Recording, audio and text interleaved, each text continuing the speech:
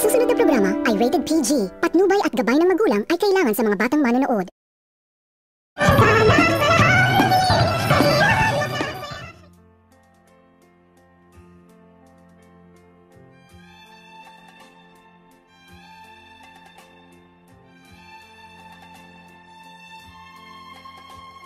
Pagkatapos nitong maisipan ni Annalyn na ilibang ang kanyang sarili at wag muna umano nitong isipin ni Annalyn ang mga nangyayari sa kanila sa araw ng kanyang birthday na hindi umano ito naging masaya kung kaya't agad naman din itong nagpapaalam itong si Annalyn kay Dr. Lindon na pupunta muna umano ito sa dagat upang maligo kung kaya't agad naman din itong nag-oo itong si Dr. Lindon at dito habang naglalakad itong si Annalyn patungo sa dagat ay nakatitig naman din itong si Dr. Lindon sa kanya at dito nang, nang makakita ng malaking bato itong si Annalyn ay agad itong umupo. Nagmuni-muni itong si Annalyn ngunit hindi nito na malaya ni Annalyn na tingin pala sa kanya itong si Dr. Lindon at dito habang pinagmamasdan nito Dr. Lindon itong si Annalyn ay agad naman din itong nakapagsalita itong si Dr. Lindon na sana masabi na umano nito ni Dr. Lindon kay Annalyn ang kanyang nararamdaman dahil mahal na umano nito ni Dr. Lindon itong si Annalyn.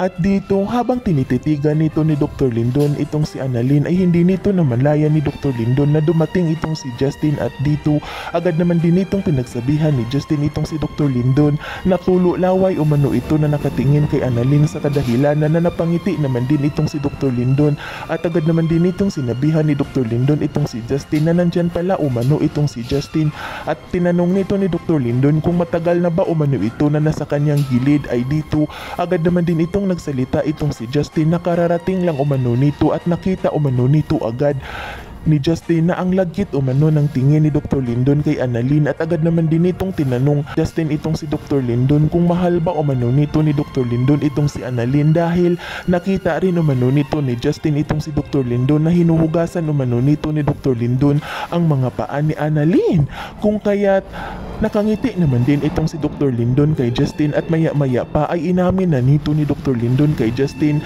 na mahal na umano nito ni Dr. Lindon itong si Annalyn at dito agad naman din itong pinagsabihan ni Justin itong si Dr. Lindon kung bakit hindi pa umano ito nagtatapat kay Annalyn at dito agad naman din itong sinagot ni Dr. Lindon itong si Justin na natatakot umano itong si Dr. Lindon na baka pag nagtapat na umano itong si Dr. Lindon sa kanyang pag-ibig kay Annalyn ay lalayo umano ito sa kanya. At dito, agad naman din itong sinabihan ni Justin itong si Dr. Lindon na malay umano nito ni Dr. Lindon kung mahal din pala umano nito ni Annalyn kung kaya bigla naman din itong lumakas loob itong si Dr. Lindon at nagsabi itong si Dr. Lindon kay Justin na magtatapat na umano siya kay Annalyn. Yan ay ating aabangan sa susunod pa na pangyayari sa kaganapang ito ng abot kamay na pangarap. Huwag mong kalimutang isubscribe at i-hit ang notification bell ng aking channel